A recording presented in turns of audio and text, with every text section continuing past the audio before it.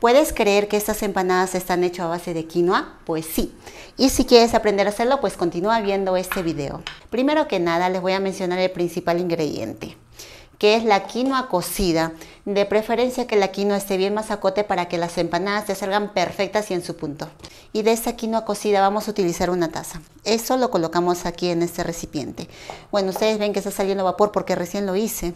Pero si lo puedes hacer un día antes, mucho mejor. También aquí le vamos a poner una cuchara de harina de maíz. Esto le va a dar bastante consistencia a la masa.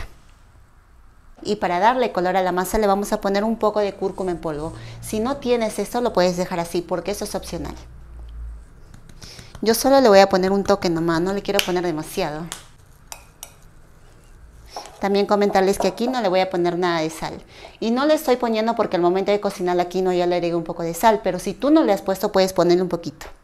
Tenemos la masa lisa y ahora vamos a empezar a formar las empanadas. Para eso tomamos una pequeña plástica y lo ponemos en la mesa y después tomamos un poco de la masa y aquí formamos una bolita. Bueno, lo bueno de esas empanadas que es muy fácil de preparar y muy rápido, no te va a tomar mucho tiempo. Doblas la plástica y luego lo presionas con una tabla de picar.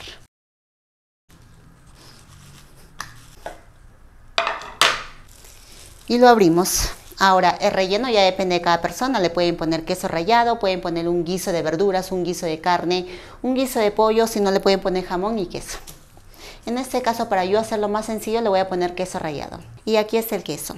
Como saben, estoy utilizando el queso fresco. También pueden utilizar el queso mozzarella.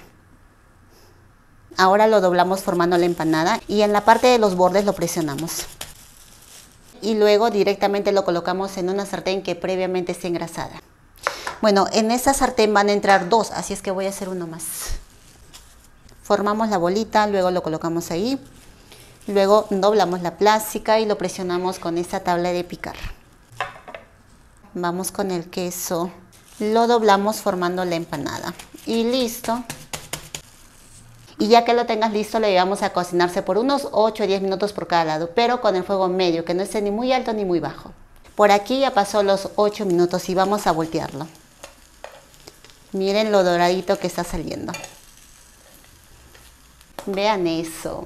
Y nuevamente lo llevamos a cocinarse por el mismo tiempo. Estas empanadas ya se cocinaron muy bien. Por aquí están las otras. En total me salieron cuatro empanadas. Y así salieron estas riquísimas empanadas de quinoa. ¿Quién diría que esto solo contiene ese alimento? Bueno, muy aparte que le pusimos un poco de harina de maíz y el relleno, ¿no? Que es el queso rallado. Ahora, te recomiendo que esto lo dejes enfriar un par de minutos y luego te lo comas, porque si lo vas a comer ahorita, esto está caliente y te puede quemar.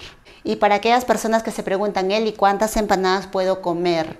Bueno, lo ideal es que te comas solo dos empanadas. Puedes acompañarlo con un poco de ensalada, también lo puedes acompañar con más proteína si quieres. De esa manera la receta va a ser mucho más completa. Recuerden que la quinoa tiene proteína, pero es muy poca. Por eso te recomiendo que la agregues un poco más. Y así vas a disfrutar de esta riquísima receta porque eso es muy rico. Bueno, yo sí lo voy a probar. Miren el queso. Las empanadas están buenísimas, creo que si tú le pones otro tipo de relleno te van a salir más ricas todavía. Así que espero que les haya gustado muchísimo este video y si fue así no se olviden de compartirlo. Y por favor, sigan esta nueva página que es Eliana Flores Recetas. Muy bien, ahora sí me despido y conmigo será hasta de mañana. Chao, chao, cuídense.